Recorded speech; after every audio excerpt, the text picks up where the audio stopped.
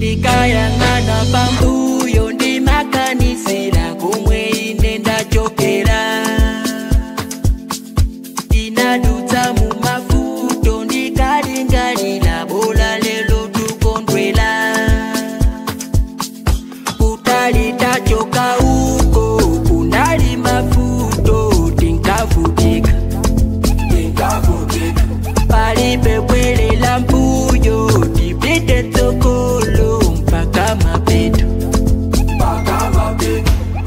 jua litachoka huko.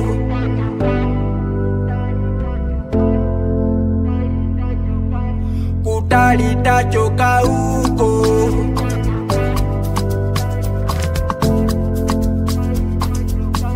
Kuta litachoka huko, kunali mafuto tinkavutika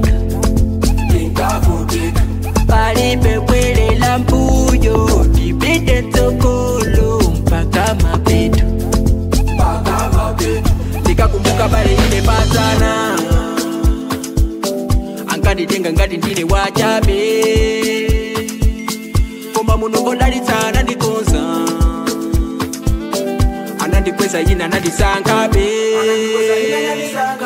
ndasinta njira zomwe ndingayenda ine ndingani nthawi zina ndi makalakwe zowatendele mutima mwanga ine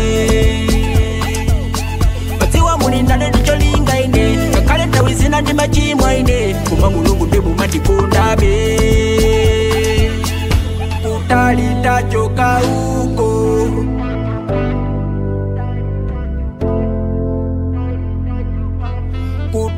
itachoka huko.